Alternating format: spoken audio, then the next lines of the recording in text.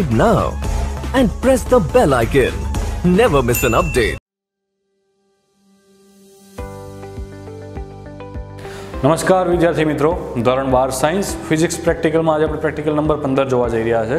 Practical number પંદર, કે જેની અંદર પાછા બીજા બે સબ પ્રેક્ટિકલ છે. એ પ્રેક્ટિકલ આપણે કરવાના છે. એને એમાં સબ પ્રેક્ટિકલ નંબર વન, એનો હેતુ કંઈક એવો છે કે અંતર્ગોળ અરીસાનો ઉપયોગ કરી અને પાણીનો વખરી ભવનાંક શોધવો. અને પ્રેક્ટિકલ નંબર ટુ, જે સબ પ્રેક્ટિકલ ટુ છે, એનો હેતુ કંઈક એવો છે કે સમતલ અરીસો અને બહિર્ગોળ લેન્સ એની મદદથી આપણે પાણીનો વક્રી ભવનાંક શોધવાનો છે. તો સૌથી પહેલાં આપણે સબ પ્રેક્ટિકલ વન જે છે કે અંતર્ગોળ એટલે અરીસાની મદદથી પાણીનો વખરી ભવનાંક શોધવો છે એ આપણે કરીએ. તો સૌથી પહેલાં આપણને મિત્રો ખ્યાલ હોવો જોઈએ કે કોઈ પણ જગ્યાએ લેન્સ કે અરીસો આવે ઓપ્ટિક્સ આવે, એટલે સૌથી પહેલાં આપણે અંદાજિત કેન્દ્ર લંબાઈ શોધવી પડે, જે આપણે આગળના પ્રેક્ટિકલના વિડીયોમાં જોઈ ગયા. તો હવે એના માટે આપણે અંદાજિત કેન્દ્ર લંબાઈ શોધીશું. તો આપણે જોઈએ હવે અંદાજિત કેન્દ્ર લંબાઈ. મિત્રો, હવે અંદાજિત કેન્દ્ર લંબાઈ શોધવા માટે આપણને ખ્યાલ છે કે આ રીતે આપણે કંઈક કાગળ રાખીશું અને અરીસો છે આપણી જોડે. તો અરીસા માટે આપણે એ, અરીસાને એની સામે ફોકસ કરાવીશું તો આપણને કાગળની અંદર કંઈક ઇમેજ મળશે અને એ ઇમેજ આપણને જ્યારે એકદમ ક્લિયર મળે, બારીમાંથી કે સામેની દરવાજામાંથી કોઈ પણ આવતા પ્રતિબિંબ આપણને જ્યારે પણ ક્લિયર દેખાય, એ જગ્યાએ આપણે એને સ્ટોપ કરી દઈશું અરીસાને મૂવમેન્ટ આપવાનું. અને જે જગ્યાએ આપણને ક્લિયર દેખાય. ત્યાં સ્ટોપ કરીશું. અને અહીંયા મિત્રો જોઈ શકો છો કે આપણને ક્લિયર ઇમેજ મળે છે. આ જે જગ્યાએ આપણને ક્લિયર ઇમેજ મળે, એ જગ્યાએ આપણે આ કાગળ, એટલે કે સ્ક્રીન અને અરીસા વચ્ચેનું અંતર કેટલું છે, એ આપણે નોટ કરી લઈશું. તો એ થશે આપણી અંદાજિત કેન્દ્ર લંબાઈ. તો અંદાજિત કેન્દ્ર લંબાઈ અરીસા માટે આપણે આ રીતે શોધી શકાય. તો મિત્રો, હવે અંદાજિત કેન્દ્ર લંબાઈ શોધાયા પછી એનું જે આપણું કામ છે, એમાં શું કરવાનું છે કે આપણે જે અંતર્ગોળ અરીસા માટે કેન્દ્ર લંબાઈ શોધી, એ અંતર્ગોળ અરીસાને આપણે આવી રીતે અહીંયા નીચે મૂકવાનો છે, જે અહીંયા તમે સ્ક્રીનમાં જોઈ શકો છો કે સ્ક્રીનમાં આપણે જોઈ શકાય છે કે અંતર્ગોળ અરીસાને અહીંયા આવી રીતે નીચે મૂકેલો છે અને એ જ્યારે તમે નીચે મૂકો, એ વખતે આપણે આની ઉપર અહીંયા આવી રીતે આમ આડી પિન સેટ કરવાની છે. તો એ પિનની જે ટોચ હોય, એ ટોચ અને અરીસાનું સેન્ટર બે એક રેખસ્થ થાય એવી રીતે આપણે મૂકીશું. અને પછી જે પિન મૂકી હોય, એ પિનને આપણે ધીમે ધીમે ઉપર ખેંચવાની શરૂ કરીશું. હવે કે ક્યાં સુધી ઉપર ખેંચવાની એ પ્રશ્ન થાય. તો આપણને જે અંદાજિત કેન્દ્ર લંબાઈ મળી હતી, એ કેન્દ્ર લંબાઈ કરતાં અંદાજિત ટુ એફ જેટલા અંતરે આપણે, એટલે કે જે અંદાજિત કેન્દ્ર લંબાઈ મળી હોય, એના કરતાં ડબલ જેટલા અંતરે આપણે એ પિનને સેટ કરીશું. એ પિનને સેટ કરી અને આપણે પછી એના માટે દ્રષ્ટિ સ્થાનભેદ દૂર કરવાનો છે. અને દ્રષ્ટિસ્થાનભેદ કેવી રીતે દૂર થાય એ આપણે આગળના ઓપ્ટિક્સના પ્રેક્ટિકલમાં જોઈ ગયા. એ પ્રેક્ટિક, એ આપણો દ્રષ્ટિસ્થાન ભેદ દૂર થાય અને જે જગ્યાએ પિનની ટોચ આપણને હેડ ટુ હેડ આપણને જોવા મળે, એ વખતે પિનની ટોચ અને અરીસાનું સેન્ટર એ વચ્ચેનું આપણે અંતર માપવાનું છે. તો આપણે હવે નેક્સ્ટ સ્લાઇડમાં જોઈશું કે એની દ્રષ્ટિસ્થાન ભેદ દૂર થયા પછી આપણને ઇમેજ કેવી દેખાશે એ આપણે જોઈએ. તો મિત્રો, હવે દ્રષ્ટિસ્થાન ભેદ દૂર કર્યા પછી એ દ્રષ્ટિસ્થાન ભેદ જે દૂર થયેલું છે આપણને કેવું દેખાશે એ આપણે આ સ્લાઇડમાં જોઈ શકીએ છીએ કે બે લાઇન ટોચ, બે લાઇનની ટોચ એટલે કે આપણી પિન અને પ્રતિબિંબમાં જે પિન દેખાય છે એ બે પિનની ટોચ એકબીજા ઉપર ઓવરલેપ થાય એવી રીતે આપણે અહીંયા એને જોઈ શકીએ છીએ. તો આ આપણો દ્રષ્ટિસ્થાનભેદ ભેદ દૂર થયો કહેવાય. હવે મિત્રો, આટલો દ્રષ્ટિસ્થાનભેદ ભેદ દૂર થયા પછી આપણે એનું રીડિંગ લેવાનું છે. રીડિંગ કેવી રીતે લઈશું? કે આપણે જે અરીસો મૂક્યો છે નીચે, એ અરીસાથી પિનની ટોચ વચ્ચેનું અંતર કેટલું છે? એ અંતર આપણે માપવું પડે. તો અહીંયા આપણને એક ફૂટપટ્ટી આવી રીતે આપેલી હશે. તો તમારે આ ફૂટપટ્ટીને અહીંયા એ રીતે રાખવાની. આટલું રીડિંગ આપણને દ્રષ્ટિસ્થાન દૂર થયેલો જોવા મળે પછી હવે આપણે એનું રીડિંગ લેવાનું તો રીડિંગ કેવી રીતે લઈશું? કે પિનની ટોચ અને અરીસાનું સેન્ટર એ બે વચ્ચે અંતર કેટલું છે? એ અંતર આપણે માપવાનું તો આવી રીતે ફૂટપટ્ટીથી તમારે બે વચ્ચેનું અંતર માપી લેવાનું છે. હવે એ અંતર મપાઈ જાય, પછી હવેનો નેક્સ્ટ પ્રેક્ટિકલ એટલે કે નેક્સ્ટ પાર્ટ માટે શું કરવાનું છે? કે આખી સિસ્ટમ છે એને એમને એમ રાખવાની છે. જરાય આપણે કશું મુવમેન્ટ કરાવવાનું નથી. અને અંતર્ગોળ અરીસાની અંદર ડ્રોપરથી અંદર પાણી ભરવાનું છે. અને એ પાણી ભરીશું એટલે આપણને જે દ્રષ્ટિસ્થાન દૂર થયેલો જે દેખાતો હતો, એ હવે કંઈક હલી ગયેલો હશે. તો એને આપણે પાછો ફરીથી સેટ કરીશું અને પાણી માટે પણ આપણે દ્રષ્ટિસ્થાન ભેદ જોઈશું. તો હવે કેવી રીતે કરવાનું છે આપણે આ નેક્સ્ટ સ્લાઇડમાં જોઈ શકીએ છીએ કે આવી રીતે તમારે આની અંદર ડ્રોપરથી આમાં પાણી ભરવાનું છે.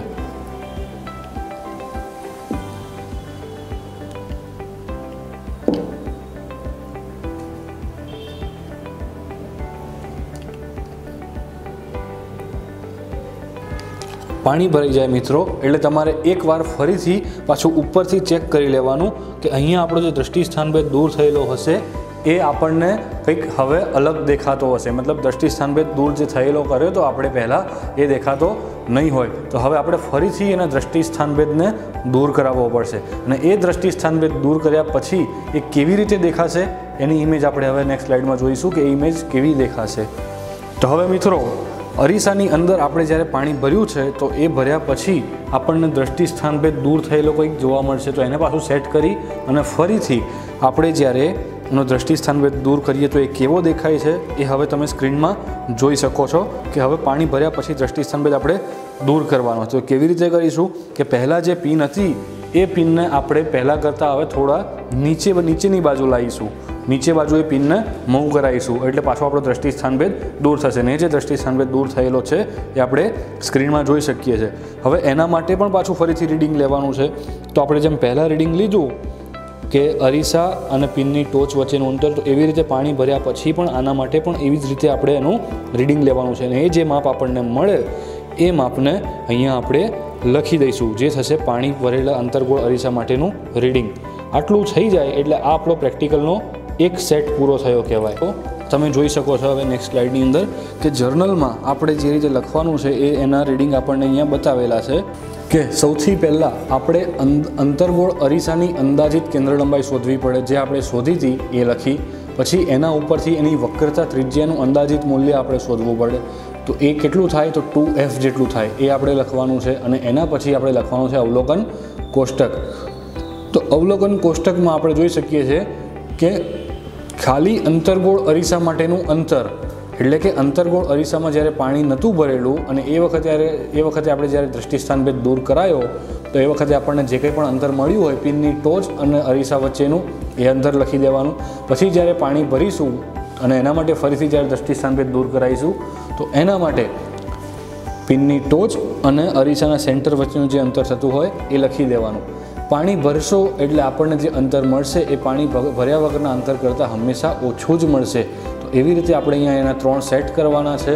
એ ત્રણ સેટ થઈ જાય પછી એના માટે આપણે એનો ગુણોત્તર લેવાનો છે.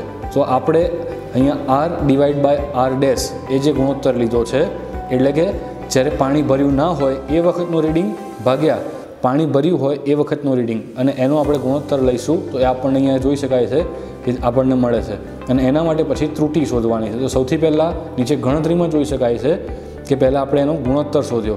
એ જે ગુણોત્તર આપણને ત્રણે ત્રણ સેટ માટે ત્રણ ગુણોત્તર મળ્યા, એની આપણે સરેરાશ કાઢી. અને એટલી સરેરાશ કાઢ્યા પછી આપણે એની હવે ત્રુટિ શોધવાની છે. ત્રુટિ માટે પણ આપણને અહીંયા સૂત્ર આપેલું છે. Delta N W A divide by N W A is equals to delta R by R plus delta R dash by R dash આ સૂત્રમાં આપણે ડેલ્ટા એન ડબલ્યુ એના સૂત્રનો કરતા બનાવી અને પછી એમાં જે બાકીના બધેલા જે ટર્મ છે, એની અંદર બધી કિંમતો મૂકીશું ને એ કિંમતો મૂકતા આપણને એની કંઈક વેલ્યુ મળશે. અને એ જે આપણને ત્રુટિની વેલ્યુ મળે છે, એની જે મહત્તમ વેલ્યુ હોય, એને આપણે એક અલગ નોટ કરી લઈશું અને એના ઉપરથી આપણે પરિણામ લખીશું કે હવાની સાપેક્ષે પાણીનું જે વક્રી ભવનાંક છે એ કેટલો મળે છે તો આપણને જે સરેરાશ વક્રી ભવનાંક મળ્યો હોય એ પ્લસ ઓર માઇનસ જે મહત્તમ ત્રુટિ મળી હોય એ આપણે એમાં લખી દઈશું. તો અહીંયા આપણો પાણીનો વક્રી ભવનાંક આપણને જે હવાની સાપેક્ષે મળે છે, એનું મૂલ્ય મળે છે એક પોઈન્ટ તેત્રીસ plus or minus zero point zero એકસો છન્નું. તો મિત્રો, અહીંયા પ્રેક્ટિકલ પંદરનો જે સબ પ્રેક્ટિકલ વન છે કે અંતર્ગોળ અરીસાની મદદથી પાણીનો વક્રી ભવનાંક શોધવો એ આપણે અહીંયા પૂરું કર્યું. હવે જોઈશું પ્રેક્ટિકલ બે. પ્રેક્ટિકલ પંદરનો સબ પ્રેક્ટિકલ બે, કે જેનો હેતુ કંઈક એવો છે કે બહિર્ગોળ લેન્સ અને સમતલ અરીસાનો ઉપયોગ કરીને પાણીનો વક્રી શોધીશું. તો હવે જોઈએ પ્રેક્ટિકલ નંબર બે.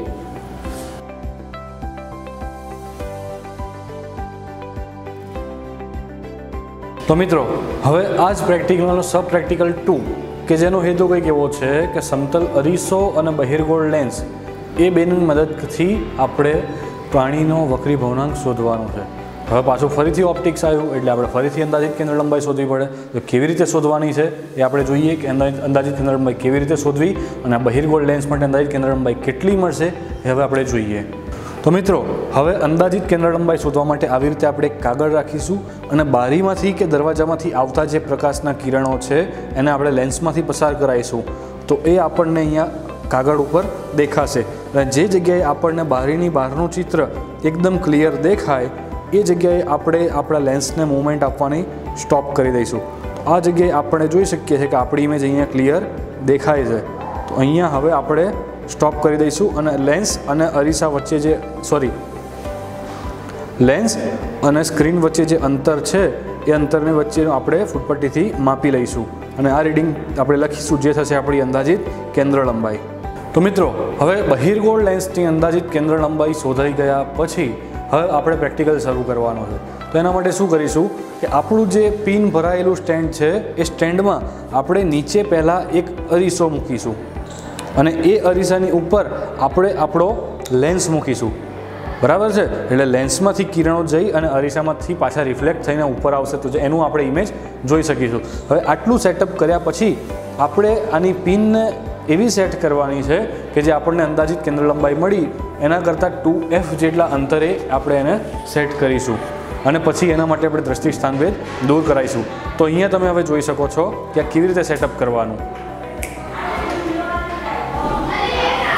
આ જે પિન છે, એને સૌથી પહેલાં તમારે આ રીતે લાવી નીચે લાવીને પિનની ટોચ અને અરીસાનું સેન્ટર આ રીતે તમારે ઉપર ટોપ વ્યૂમાંથી જોઈ અને એક જ લાઇનમાં છે, એક રેખસ્થ છે, એ ચેક કરી લેવાનું અને એટલું થઈ જાય, પછી તમારે પિનને આવી રીતે ઉપર લેવાની છે. અને જે જગ્યાએ તમને દ્રષ્ટિસ્થાનભેદ દૂર થયેલો જોવા મળે, એ જગ્યાએ તમારે એને ફિટ કરી દેવાની છે. તો આ જગ્યાએ મિત્રો આપણો દ્રષ્ટિ સ્થાનભેદ દૂર થાય છે. હવે દ્રષ્ટિ સ્થાનભેદ દૂર થયા પછી આ ઇમેજ કેવી દેખાશે એ આપણે હવે નેક્સ્ટ સ્લાઇડમાં જોઈશું કે દ્રષ્ટિ સ્થાનભેદ પછી આ ઇમેજ આપણને કેવી દે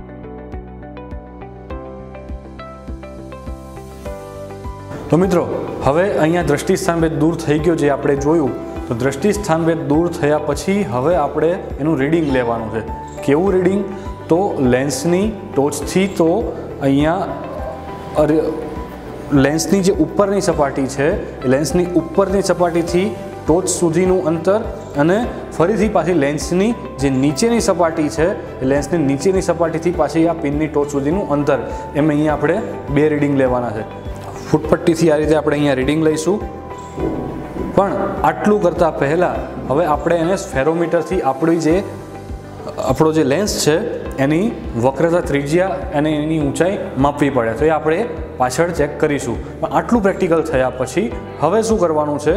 તો આ જે લેન્સ છે, એ લેન્સને અહીંયાથી આપણે ઉઠાવી લઈશું અને અરીસા ઉપર ડ્રોપરથી પાણીના અમુક ટીપા મૂકીશું. અને એ થઈ જાય, પછી એ પાણીની ઉપર આપણે આપણો લેન્સ મૂકીશું. આટલું કર્યા પછી હવેનું આપણું જે દ્રષ્ટિસ્થાનભેદ હશે, એ હવે દૂર થયેલો હશે. તો એ દ્રષ્ટિસ્થાનભેદને આપણે ફરીથી હવે સેટ કરીશું અને એના માટે ફરીથી દ્રષ્ટિસ્થાનભેદ દૂર સેટ કરીશું એટલે એનું રીડિંગ પણ પાછું બદલાઈ ગયેલું હશે. અને એ રીડિંગ આપણે લઈશું. તો હવે ને આ પાણી મૂક્યા પછી દ્રષ્ટિસ્થાનભેદ જે દૂર થયેલો છે એના માટેનું ચિત્ર કેવું છે, એ ઇમેજ કેવી દેખાશે આપણે નેક્સ્ટ સ્લાઇડમાં જોઈ શકીએ છીએ કે ઇમેજ આપણને કેવી મળશે.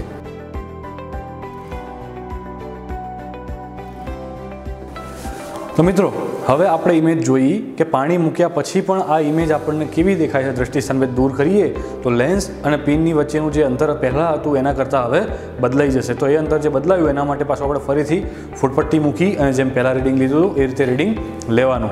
અને એ રીડિંગ એવા આપણે ત્રણ સેટ કરવાના છે. એટલે ત્રણ અલગ અલગ વખત આપણે એ પ્રેક્ટિકલ કરવાનો છે. એટલું થયા પછી આપણે વાત કરી હતી કે આપણને જે લેન્સ આપવામાં આવ્યો છે, એની ઊંચાઈ અને એની જાડાઈ. એટલે કે ઊંચાઈ અથવા જાડાઈ અને એની વક્રતા ત્રિજ્યા શોધવી પડે. તો એ કેવી રીતે શોધી શકાય? તો મિત્રો, અહીંયા આપણને સ્ફેરોમીટર આપ્યું છે. તો સ્ફેરોમીટર તમે જોઈ શકો છો જે આપણે અગિયારમા ધોરણના પ્રેક્ટિકલમાં જોઈ ગયા. તો સ્ફેરોમીટરને આપણે આ લેન્સની ઉપર આ રીતે સેટ કરાવવાનું છે. અને અહીંયા સ્ફેરોમીટરનો આ જે સેન્ટરનો જે સળિયો છે, સેન્ટરનો જે પાયો છે, એ પાયો લેન્સના સેન્ટરમાં આવે એ રીતે આપણે અહીંયા એને સેટ કરીશું. અને આ ઉપરનો જે મૂવેબલ સ્ક્રૂ છે, એને આ રીતે અહીંયાથી પકડી અને સ્ક્રૂને અહીંયા તમારે આ રીતે મૂવ કરાવવાનું છે. અને જે જગ્યાએ તમારો પાયો નીચે લેન્સમાં અડી જાય, સેન્ટરનો પાયો, એટલે એને મૂવમેન્ટ આપવાની સ્ટોપ કરી અને પછી એના રીડિંગ લેવાના છે. તો મિત્રો, અહીંયા જે આ સ્કેલ બતાવી છે, આ જે સ્કેલ છે એ છે મેઇન સ્કેલ અને અહીંયા જે વર્તુળાકાર સ્કેલ બતાવી છે, એ આપણી વર્નિયર સ્કેલને એના માટે પછી આપણે રીડિંગ લેવાના છે. સ્ફેરોમીટરના રીડિંગ કેવી રીતે લેવા? એ આપણે અગિયારમા ધોરણમાં ડિટેલમાં જોઈ ગયા. પણ આપણે એકવાર હજી ચર્ચા કરી લઈએ કે આ જે મેઇન સ્કેલ છે, તો એના માટે રીડિંગ કેવી રીતે લઈશું? તો આ જે આપણી આડી પ્લેટ છે, વર્તુળાકાર પ્લેટ જે છે, એ પ્લેટ આ મેઇન સ્કેલના આડા જે જે નંબરના કાપવા ઉપર આવી હોય, એ થશે આપણું મેઇન સ્કેલ રીડિંગ અને આ વર્તુળાકાર સ્કેલ જે અહીંયા આપણને દેખાય છે તો આ વર્તુળાકાર સ્કેલનો જે નંબરનો કાપો આ પ્લેટ જોડે અહીંયા મેચ થતો હોય, તો એ કાપો જે હશે એ આપણો વર્નિયર કાપો થશે અને પછી એના માટે આપણે ફરીથી રીડિંગ લઈશું. અને એ રીડિંગ કેવી રીતે લેવા એ ડિટેલમાં આપણે અગિયારમા ધોરણમાં જોઈ ગયા છે. તો હવે જોઈએ આનું જર્નલ વર્ક કે જર્નલ કેવી રીતે આપણે કરીશું. તો સ્ફેરોમીટર જે આપણે મિત્રો જોયું હતું, તો સ્ફેરોમીટરને તમારે સપ્લિમેન્ટરી ઉપર જોરથી દબાઈ અને એના જે ત્રણ પાયા છે, એ ત્રણ પાયાના નિશાન તમારે કરવાના છે.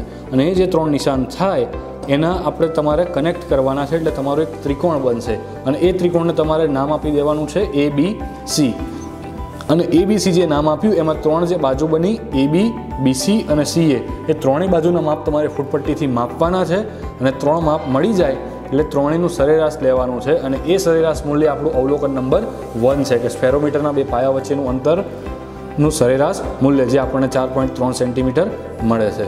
પછી લેન્સનો જે ઉપસેલો ભાગ છે, એની સરેરાશ કિંમત કેટલી? તો એ થાય આપણી એચ અને એચ માટેનું સૂત્ર જે છે, એ આપણને પાછળ આપેલું છે. તો એ હાઈટ આપણે શોધી શકીશું અને હાઈટ આપણને જે મળશે, એ આપણને સ્ફેરોમીટરમાંથી પણ મળશે. તો એ સ્ફેરોમીટર ઉપરથી આપણે એનું સરેરાશ કિંમત એટલે કે લેન્સના ઉપસેલા ભાગની હાઈટ જે કેટલી છે એ માપી શકીશું. પછી શોધવી પડશે આપણે લેન્સની વક્રતા ત્રિજ્યા આરનું સરેરાશ મૂલ્ય. તો એના માટેનું સૂત્ર આપણને પાછળ આપેલું છે. એ સૂત્રની અંદર આપણે કિંમતો મૂકવાની છે. ખાલી અને ખાલી એલ અને એચ એ બેની કિંમત મૂકી અને આપણે એનો જવાબ લાવવાનો છે. પાછળના સૂત્રથી તમે એ શોધી શકશો, જે આપણે ગણતરીમાં જોઈશું. હવે જોઈએ અવલોકન કોષ્ટક. અરીસાની ઉપર બહિર્ગોળ લેન્સ મૂક્યો અને એ વખતે આપણને જે દ્રષ્ટિ સ્થાનભેદ દૂર થયું, એ વખતે જે અંતર મળ્યું હતું, એ અંતર આપણે લખવાનું છે. અને એનું પહેલું અંતર છે કે લેન્સની ઉપરની સપાટીથી અંતર ડી વન તો લેન્સ જે આપણો હતો, એમાં ઉપરની સપાટીથી જે અંતર મળ્યું, એ આપણું જે મળતું હોય એ લખીશું અને લેન્સની નીચેની સપાટીથી અંતર. એટલે કે લેન્સની જાડાઈ જેટલું જે અંતર હોય, એમાં આપણે એડ કરીશું તો આપણને વેલ્યુ મળી જશે. પછી એ જે બે અંતર મળ્યા બે અંતરનું આપણે સરેરાશ લઈશું એટલે લેન્સના સેન્ટરથી પિનનું ટોચ સુધીનું આપણને અંતર મળશે. તો આ થયું પાણી વગર. હવે આપણે જ્યારે લેન્સને ઉઠાઈ અને અરીસા ઉપર પાણી મૂકીએ છીએ અને પછી એની ઉપર જ્યારે લેન્સ મૂકીશું, તો એ વખતે આપણો દ્રષ્ટિસ્થાનભેદ કંઈક દૂર થયેલો જોયેલો જોવા મળશે. હવે દ્રષ્ટિસ્થાનભેદ પાછો દૂર કરવો હોય તો આપણી જે પિન હતી પહેલાં કરતાં એને આપણે ઉપર લઈ જવી પડશે. તો એનું રીડિંગ પાછું કંઈક ચેન્જ થશે અને એ જે ચેન્જ થયેલું રીડિંગ છે, એ આપણે અહીંયા લખેલું છે કે લેન્સની ઉપરની સપાટીથી પિનનું અંતર અને લેન્સને સમતલ અરીસાથી, એટલે કે લેન્સની નીચલી સપાટીથી અંતર. તો એ બે અંતર આપણે લખી અને પાછું ફરીથી એનું સરેરાશ શોધીશું. એવી જ રીતે, આ રીતે જે રીતે પ્રેક્ટિકલ કર્યો, એવી જ રીતે આ પ્રેક્ટિકલના ત્રણ સેટ કરવાના છે અને એવી રીતે એના એફ અને એફ ડેશ માટે આપણે ત્રણ અલગ અલગ સરેરાશ કાઢવાની છે. એટલું થયા પછી એફ ડબલ્યુ આપણે એફ ડબલ્યુ શોધવાની છે. જેનું સૂત્ર આપણને બાજુમાં આપેલું છે ને સૂત્રની ગણતરી આપણે નીચે જોઈશું. અને એના પરથી delta F W N W A અને ડેલ્ટા એન ડબલ્યુ એ એટલે કે પાણીનો વક્રી ભવનાંક અને વક્રી ભવનાંકમાં મળતી ત્રુટિ એ આપણે શોધવાની છે. તો હવે મિત્રો આપણે જોઈએ ગણતરીમાં. તો ગણતરીમાં જોઈ શકાય છે કે એફ ડબલ્યુ તો એનું સૂત્ર છે F into F dash divide by F minus F dash તો આ સૂત્રની અંદર આપણને જે સેટ પ્રમાણે કિંમતો મળી હોય, પહેલા સેટ માટે પહેલાની કિંમત, બીજા માટે બીજાની, ત્રીજા માટે ત્રીજાની કિંમતો આપણે મૂકી એફ અને એફ ડેશની રિસ્પેક્ટિવ વેલ્યુ એમાં પુટ કરી અને આપણે એનો જવાબ લાવીશું જે આપણને અહીંયા આટલો મળે છે, જે ત્રણેય માટે. હવે આપણે લેન્સની વક્રતા ત્રિજ્યા શોધવાની છે આર બરાબર છે? તો એનું સૂત્ર પણ અહીંયા આપેલું છે કે આર બરાબર L square divide by six H plus H by two તો આમાં એલ અને એચની વેલ્યુ મૂકવાની છે, જે આપણે આગળ અવલોકનમાં જોઈ ગયા. તો એના ઉપરથી આપણે લેન્સની વક્રતા ત્રિજ્યા મળશે અને પછી પાણીનો વક્રી ભવનાંક શોધવાનો છે, જે આપણો મુખ્ય હેતુ હતો. તો પાણીના વક્રી ભવનાંક શોધવા માટે અહીંયા પાછું સૂત્ર આપેલું છે કે એન ડબલ્યુ એ બરાબર one plus R divide by F W તો એમાં આરની કિંમત જે આપણને મળી આગળ એ અને એફ ડબલ્યુની કિંમત જે આપણે શોધી હતી એ આપણે મૂકવાની વન માટે. વન માટેની જે એફ ડબલ્યુની કિંમત મળી હોય એફ ડબલ્યુ વન એ કિંમત અહીંયા આપણે મૂકીશું. અને આપણે સોલ્વ કરીશું એટલે આપણને પાણીનો વક્રી ભવનાંક અહીંયા કંઈક મળશે. એવી રીતે ત્રણેય રીડિંગ માટે ત્રણ અલગ અલગ વક્રી ભવનાંક શોધવાના છે અને એ ત્રણ વક્રી ભવનાંક મળે એટલે પાછો ફરીથી એની સરેરાશ શોધવાની છે. અને એ સરેરાશ શોધાઈ ગયા પછી હવે વક્રી ભવનાંકમાં મળતી ત્રુટિ એનું મૂલ્ય પણ આપણે શોધવું પડશે. એના માટેનું સૂત્ર છે કે delta F W divide by F W square બરાબર delta F upon F square plus delta F dash upon F dash square હવે આમાંથી ડેલ્ટા એફ ડબલ્યુ આપણે સૂત્રનો કરતા બનાવીશું તો સૂત્ર કેવી રીતે બનશે જે આપણે અહીંથી જોઈ શકીએ છીએ. અને એની અંદર સેટ વાઇઝ આપણને જે રીડિંગ મળ્યા હોય સેટ વાઇઝ રીડિંગ એમાં મૂકીશું સૂત્રની અંદર અને એની કિંમતો મૂકતા જઈ અને આપણને એની વેલ્યુ મળશે. અને જે મહત્તમ વેલ્યુ આપણને મળી હોય એને આપણે અલગ રાખીશું. હવે વક્રતા ત્રિજ્યા આર જે આપણને મળી હતી, એની ત્રુટિ પણ પાછી ફરીથી શોધવાની છે. તો એના માટેનું સૂત્ર પણ અહીંયા આપેલું છે. અને એના માટે એ સૂત્ર માટે જે માંગેલી કિંમત છે, એટલે કે delta L, delta H H, L અને આર, એની કિંમતો આપણે મૂકવાની છે. જ્યાં ડેલ્ટા એલ અને ડેલ્ટા એચ જે છે, એ આપણી ફૂટપટ્ટી એટલે આપણી જે સ્કેલ છે